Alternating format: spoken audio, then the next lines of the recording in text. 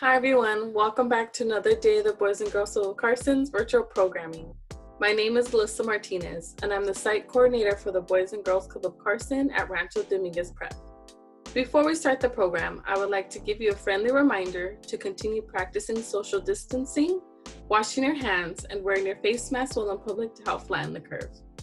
I will be sharing with you the virtual program schedule for today, June 2nd.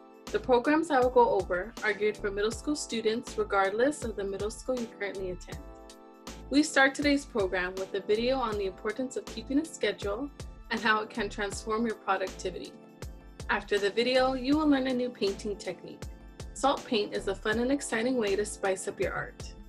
Next, join BGCC's own Mr. Wilfred in this video that shows you how to inflate a balloon by using a chemical reaction of baking soda and vinegar. Once you have finished the balloon activity, watch a video on the power of your ambition and how you can reach great success. After, follow along with the video on how to improve your speed using plyometric exercises. Follow along and focus on your technique and improve your speed and agility. I hope you enjoyed today's plans. Do not forget to check back in tomorrow for another day of programming with the Boys and Girls of Carson. Goodbye.